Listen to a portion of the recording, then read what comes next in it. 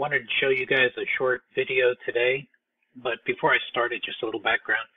This is a heat pump unit that I saw over the weekend in Arlington, and it's not really a problem.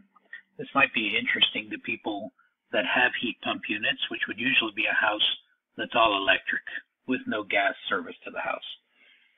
So you see there's a frost buildup on the coils on the outside unit.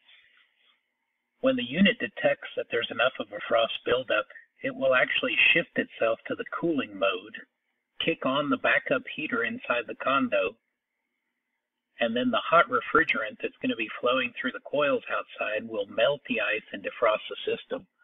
Once the system has defrosted, it will actually reverse itself once more and go back into the heat mode and shut off the supplemental heat. So it's not really an issue, it's just something that we don't see too often, and I wanted to point it out in case somebody sees it moving forward.